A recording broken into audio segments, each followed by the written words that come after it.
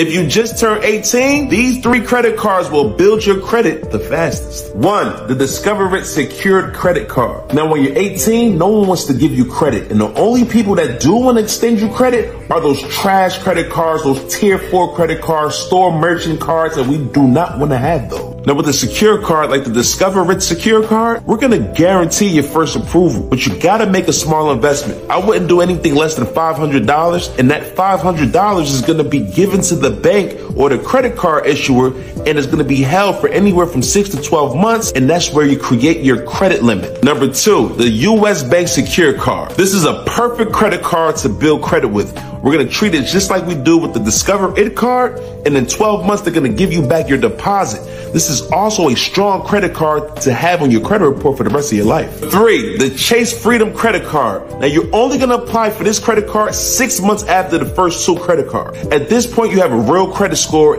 and this is the first time you'll be eligible for a big boy card where you don't have to put a deposit down, and you can also start getting real rewards. If you start with these three credit cards, you're well on your way to 800 credit score. Let's get active.